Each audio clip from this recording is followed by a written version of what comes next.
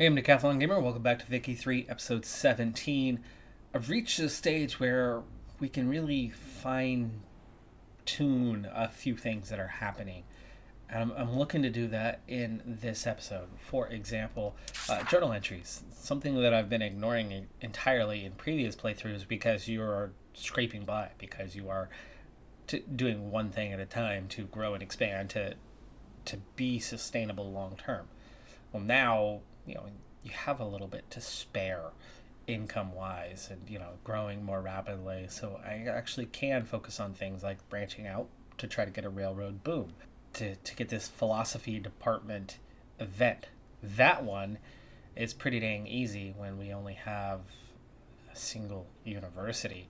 Uh, so opening up the philosophy department for our university seems like a good way to get a a boost of some kind.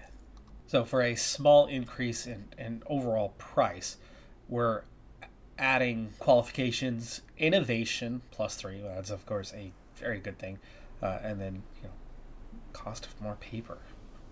Of course, we'll take that one on. Bukhara have accepted our defensive pact, so we are making progress uh, with Bukhara Looks like trade route volume is going to be the way to get them into the customs. I've already gotten Makran into one. I don't remember if we have. Yes, we do. Yes, we do. Uh, and we still have we still have our obligation. Well, anyway, short term railroad is coming. We, we are getting that railroad active and going. First one in Mazandaran. And we're going to very quickly see our infrastructure problem resolved. Let's right away get in here and see what we can do about switching to wooden passenger carriages. Lowers the infrastructure a little bit, lowers the amount of transportation you get, uh, but it offsets the cost, the state cost. Uh, hello, Bukhara wishes to join our customs union. Absolutely. And so we now should have Bukhara and Makran on our market. Let's see if that's the case. And it is. So they are they are both in. Uh, we fixed the infrastructure issue here. We have not fixed it in the other two areas, but we have another railroad on the way to fix one of them. And so that standard of living that was locked in at 10 and not really growing our introduction introduction of goods to the market that's starting to expand access to just basic needs type goods is finally starting to pay off, and we've seen the standard of living already rise a full point in a short period of time. Meanwhile, our Western Afghanistan incorporation is a third of the way done. Oh, engines and coal now an issue. Okay, engines and coal are now an issue for uh, our railway, so we're going to have to start producing that as well. Engines and coal. Let's see what we have. We do have access to coal mines, so that's that's a very good thing. Get the motor industry on the go as well. Lucastan is picking up a lot of the new stuff uh, as they had nothing, so we're, we're trying to get them going. With a low amount of transportation coming out of the railway, and already large numbers of things. I mean, we have eight logging camps that are active in Mazandaran alone, the first railway. And to have that switched uses 40, meaning it's not even quite covered as it is.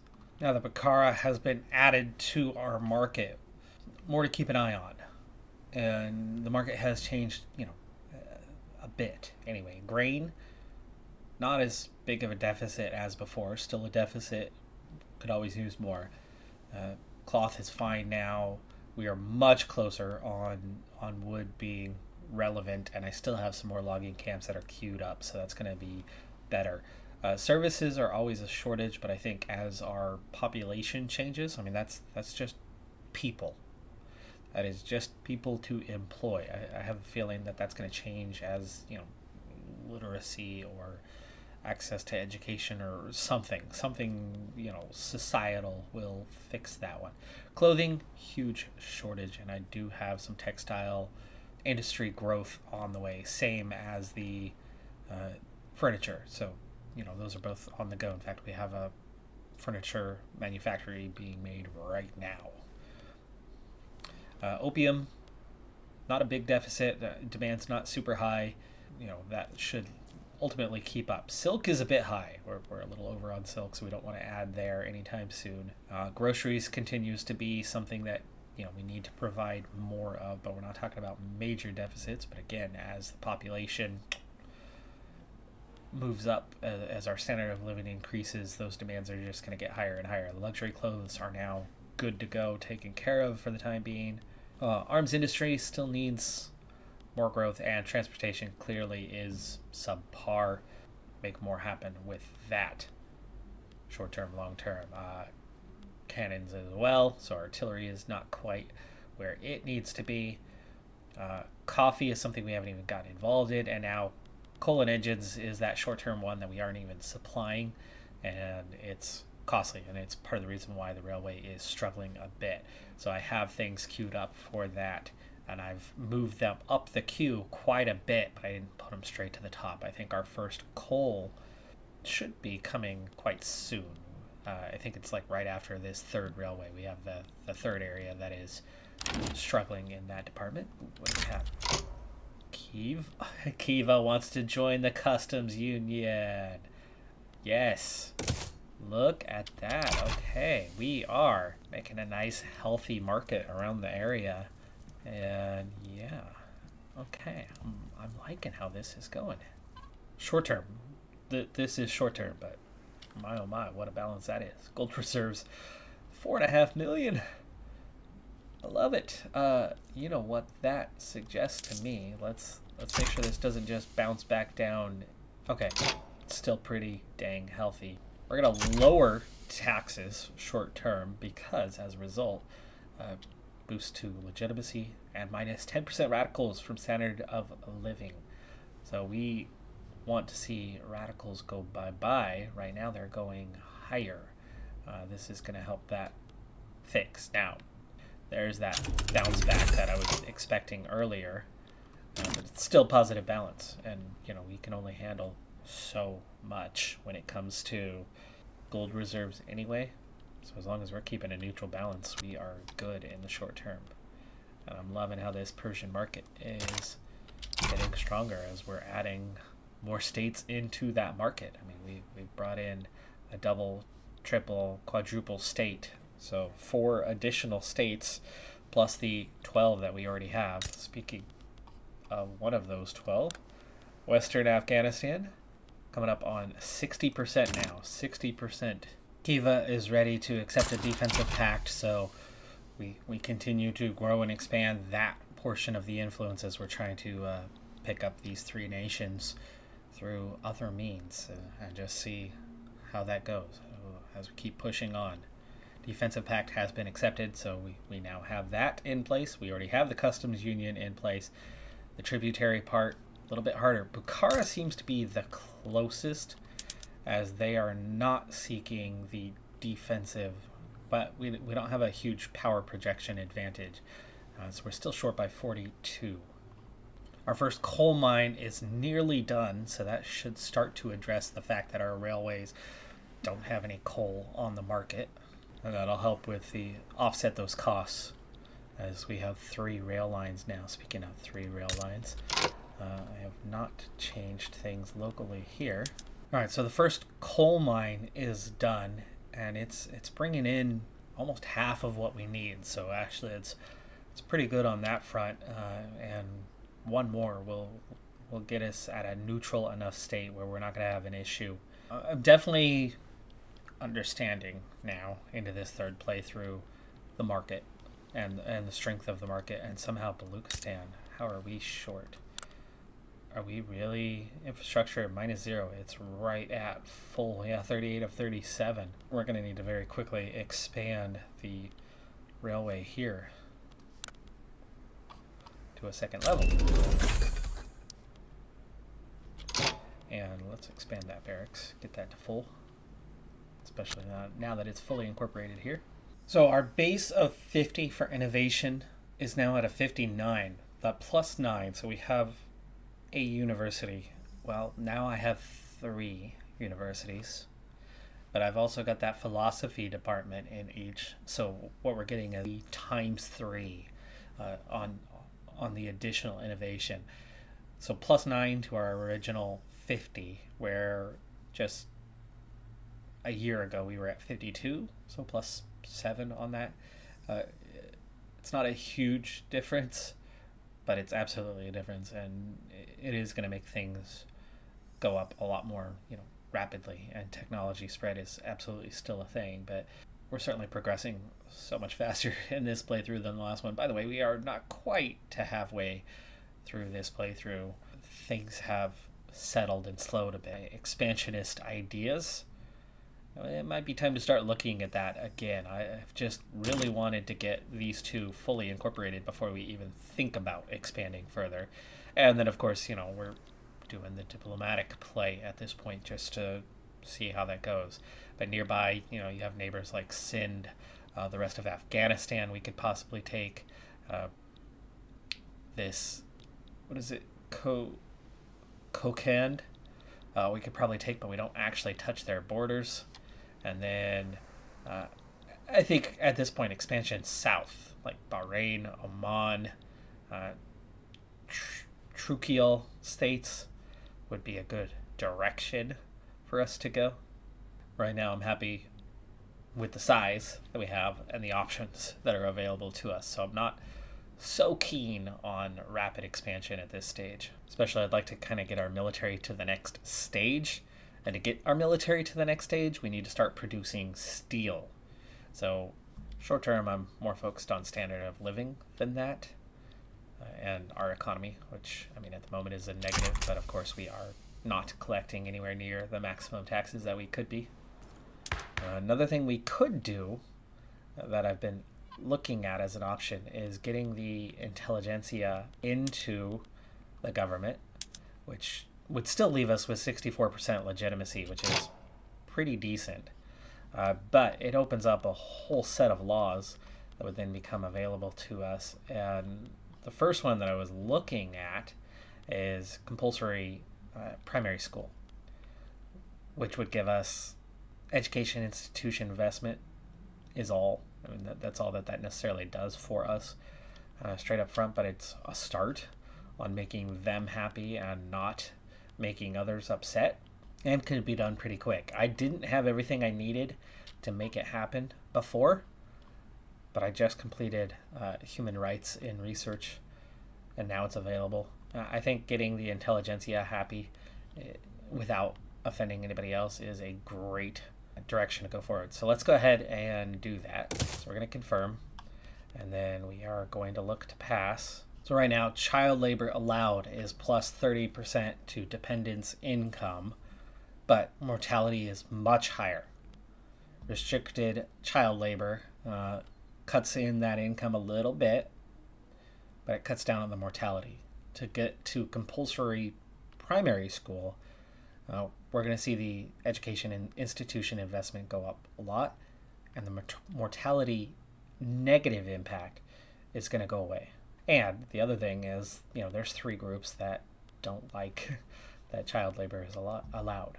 For now, it would only be at a 9% boost. Uh, it would take a while to pass this, but at 180 days, we still have a decent amount of legitimacy, so it's not going to take forever. And we're also finally one year, less than one year, away from Western Afghanistan being incorporated. And that's huge because it's two and a half million people. It's a big chunk of our population to finally uh, to get in and start contributing to, well, taxes, being a part of the government. So our first go has just a 9% chance of passing. Debate is a worrying one because it's the overwhelming chance. So our first event was a negative one, and it took away any chance of success that we had. Uh, we still have a chance to advance, though, but it, it's not looking great for uh, compulsory primary school at this time. And we might have to uh, cancel our attempt at it. The event actually cost us some bureaucracy, which means we're now seeing a deficit, and we're now seeing tax waste of, of 3%. Uh, but as we are just 11 weeks away from incorporating Western Afghanistan, it's not going to be a problem for very long at all. Uh, taxation capacity is going to be way over, though, so we are going to need uh, to improve that taxation capacity here quite soon. The intelligentsia and the petite bourgeoisie are not going to be happy for five years, but we get a 20% boost to trying to achieve the goal. So we actually did get somewhere that time with a bit of a trade off at least. And Western Afghanistan is finally incorporated, and instantly we go from a negative 2,000 uh, balance to a positive 6,000 balance, just like that, even with taxes turned down quite a bit. Uh, you can see construction goods are getting more and more expensive at 11,000. Actually, still only half of what we're paying government work. By the way, something that I've not been using effectively uh, is decrees. First playthrough, I, I did it a little bit, didn't see much of an effect, and, and therefore I, I just kind of stepped away from it. But here I am. It's time to get back into it. For one thing, we have plenty of authority to put in, but uh, promoting national values in Western Afghanistan and Baluchistan in particular, with their large population base and the number of radicals that they still have, assimilation and conversion going up by 100 for the cost of 150 authority is going to be a very, very smart move. But there are others as well. Uh, social mobility, increasing qualifications, education access, uh, welfare payments are a good way to raise standard of living, you would think. Uh, road maintenance improves infrastructure. That was one of the ways we could have fixed the infrastructure problems that we had earlier. Construction efficiency also going up is certainly not a bad thing, but service industries throughput, meaning our service industries would be resolved. Manufacturing uh, industries throughput going up by 20% means we're just going to make more money through manufacturing. We're, we're going to get better production of goods where we have a lot of our manufacturing centered, which is Tabriz, Iraq, and soon to be Western Afghanistan, if not already. And I've been, you know, pushing into uh, Baluchistan a bit as well. And agricultural industry uh, is another good one to, uh, to to get things going. Kind of centralizing where things are being done instead of doing it spread out all over seems like a really good thing that you can do. Uh, migration traction. Like, there's a lot of things that I've not been utilizing that I probably should be. I was already mentioning that we need steel uh, to progress. Well, it turns out we need steel right away. I made the motor industry so we can start producing engines so that the railways have what they need, and that requires steel too. So uh, it's very much time to to get on with uh, with steel. Steel mills are going to use coal and iron. Uh, that is the goods that they are going to consume. Right now, I don't think we have iron. We do have coal on the market, uh, so we'd at least have the first of those. But we need to get steel mills, and we're going to need to start mining. So I've set up a couple of trade routes, partially out of necessity. Uh, one was an event and partially out of I just know where we're at on the market, and it's going to take time to to kind of build things up. Uh, but it is playing into our balance just a bit. It's not a bad balance right now, but let's let's go ahead and just fix that uh, and go back to neutral.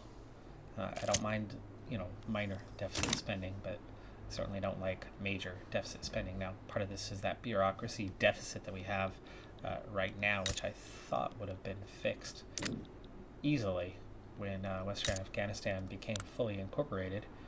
Uh, all of those bureaucrats should become available again. Uh, our taxation capacity is way, way, way over in within Western Afghanistan, so we're actually collecting a lot less than what we actually could collect.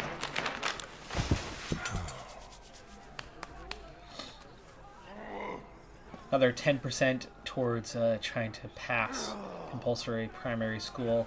Shia are not going to be mm, terribly happy, but the intelligentsia will be. Uh, clergyman pops in Orekajemi are going to become a radical as a result. That's that's a pretty small group to have a small impact uh, to get us now up to a 30% chance of of success, and the debate is down to 50%. We've had a debate outcome every single time thus far. Taxation capacity, the way to get that up is government administrations. So let, us go ahead and also try to increase that one. What do we have here for filing cabinets? Uh, taxation capacity can, uh, well, since we just started to incorporate paper, is that shortage of paper. So looks like paper is the other one we need to, to work on, but taxation capacity going up is going to improve that income here in Western Afghanistan. We're not going to see the same issues we had. Yeah, it's down to 28% from what it was, so at 36 before. Uh, so improving that by 8% is seeing our balance neutralized. By the way, I actually did uh, add a construction network here. That's part of the reason why our expenses ended up negative again. We're up to 17, slowly getting faster and faster uh, with construction as we go. Oh, the incorporated states themselves have a cost in bureaucracy. Okay, the education has a cost. Oh, well, no, that was that was something I wanted to turn up. The trade routes, that's what's doing it. Trade routes minus 60. Uh, so that the in, incorporated states, I didn't know that that was going to increase. So that probably went up by close to 100. Trade routes went up with a minus 60. So, okay, okay, I got. Uh, the incorporated states themselves added another 10. So I see where the additional need came from. Industrial barriers, this is another uh, on our attempt to get this passed. And this was a negative. This was a big time negative. Uh, we'll, we'll take the interest, the Shia uh, not liking us. So there was nothing positive about that debate. Mutual funds unlocked, plus 10% minting. Instantly we see a boost probably a good thing to lower the bureaucracy population cost multipliers. We know that that's quite high. So we'll go ahead and work on philosophical pragmatism. I'm starting to see that this is a game of if you accomplish X, it's going to impact X, but it's also going to impact Y and Z.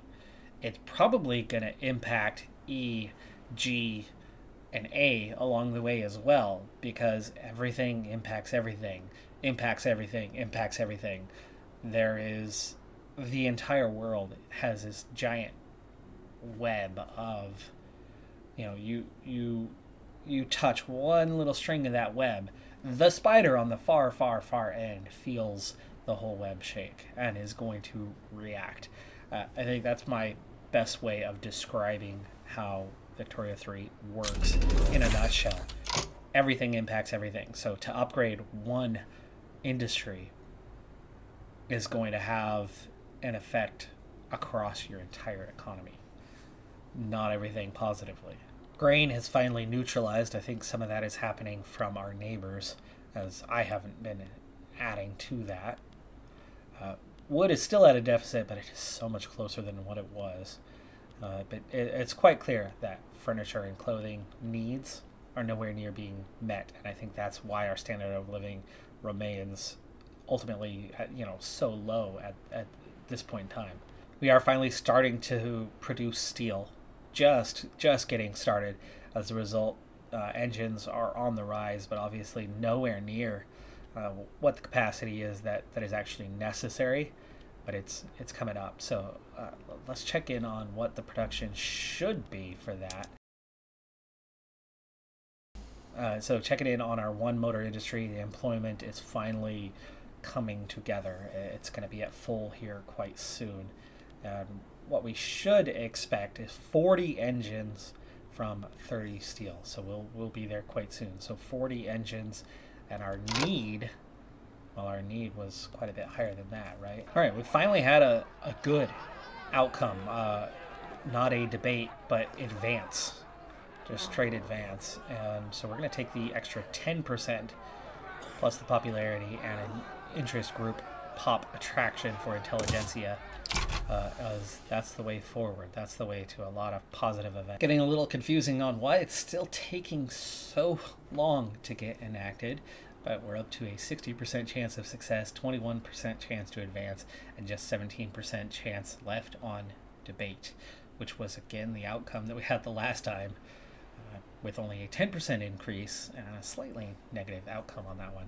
Uh, our steel mill is going to be massively in demand. For now, it's struggling just to employ everybody because it's not bringing in a ton of money. Uh, largely because it hasn't had the right resources. Also, it looks like we just don't have a, a good capitalist. Capitalists are not doing well. Passed a law advancement, and yet our percentage dropped. Uh, that some side event, passing of a leader, expiration of some sort of other event, whatever the case may be, we dropped by about 20% and then recovered 10% of that. So we have a 50% chance of passing compulsory primary school this time around, but it's been a bit of a struggle to, to get this done. I mean, yes, we did start with low odds, but meanwhile, the economy is getting bigger, better, stronger, and we're about to expand that motor industry a little bit. Uh, in the barracks, one of those positive things that we can do, though, obviously comes at an expense. 4,000 is a bit to cover off, but recovery rate of our troops goes from 25% up to 50% for the use of fabric and opium, which there's there's good use for opium uh, within our nation. So we're, we're, meanwhile, I'm also trying to expand our barracks uh, into every place that we have. You can see right now we, we have a decent uh, outcome on, on what we have for our evaluation of where we're at. Health system, we're going to go ahead and take the next level to take mortality from 5 to 10% de decrease. Uh, it's going to take about a year to implement that, but it's progress. That's some of that extra bureaucracy that we have. The balance is getting better and better all the time, by the way. We are feeding the economy in a much better way. Than still the two areas that need us the most. Still pretty big shortages, minor shortages, I, I suppose you could say, of coal and iron. So we're going to want to continue to grow those. And tools are definitely on a shortage now. Afghanistan proposing a trade agreement. So there's the next one to start bringing into the market uh, and expanding that yet further. Still did not pass. Really? 20% chance to, to get it this time. We're going to have to. Approval's going to drop, but this is getting ridiculous. We had a 60% chance a while ago. Now we're up at 70%. We've had 50% chance multiple times. Uh, government administration, I'm going to have to get some more on the go as the uh, the soon-to-be upgrade is going to cost over a hundred. Finally, oh my gosh, it's been so long to get this passed, but com compulsory primary school, as in children have to go to school now through the early years, has finally been passed, and you know we're going to see a big positive outcome in a few of the groups, uh, and it's the right groups. They're going to be really happy with that one. So. Uh, big, big step towards progress for us. And what other pathways does that one open up for us? Well, I don't know yet. I don't know yet. But the economy has grown and grown and grown, though the balance at this exact moment is negative, but we are increasing expenses as we go along, so it's it's not one way or the other. Uh, GDP, 14.5 million. Literacy is only slowly growing, but compulsory primary schools, I think, will open up access to education quite a bit more, and we're going to see that rise. Uh, standard of living slow, slow to grow because we have such a large population. So even though you make clothing, you're making clothing for a very small percentage of the of what you have, and so you need a lot of it and we are just not meeting those demands at all. So it's been very, very, very slow to climb. Uh, the middle strata, the upper strata are doing, you know, okay, but it's that lower strata that's just not able to get beyond impoverished. And so we're only 120th worldwide in, in standard of living. That is still the biggest, biggest thing that we need to improve as we go along. Population, number 12 worldwide, with over 12 million people now, all fully incorporated finally. And, and that's big. Uh, but right now, you know, dependents are very, very high. Unemployed, not low. Getting more uh, peasants on the go is going to come largely from creating jobs. Radicals has been stuck right at about a million for quite a while, but we're about to see a few groups that are suddenly happy and nobody upset with what we just passed. So that could change. Hopefully, we'll see that drop back off.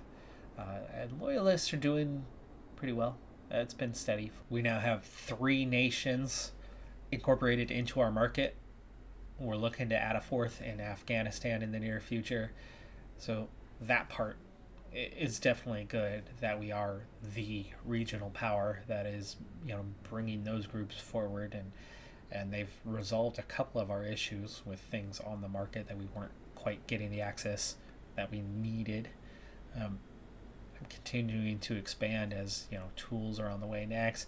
I'd still love to get them in as a tributary of some kind, even if it's a small game. But it's it's more about making subjects and eventually incorporating them into our larger state. So it's just trying to continue on with that. But diplomatically, expansion the other way, I think, is a distinct possibility once again. And the direction we want to go with that is south. We want to go probably next, as they have multiple states that are within, technically within our borders. Uh, I'd like to get those added in. Uh, so Oman is probably our next target. Last I checked, they were really weak, but that was a long time ago. Let's let's just take a quick look at what Oman looks like now. Uh, yeah, yeah, they would they would be quite easy. It's a matter of uh,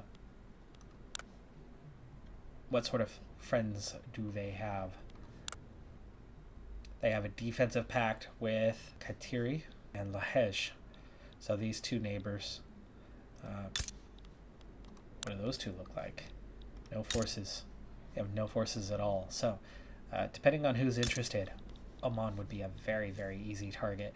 And it looks like we could probably incorporate, you know, a lot. a lot. We could take quite a bit off of Oman, I would think. Just depends on who else is interested in the region that might want to interfere. I think we'll look into that next episode. That's going to do it for this one. I'm Decathlon Gamer. Like, comment, subscribe, and I'll see you next time. Have a good one. Be safe out there. Bye for now.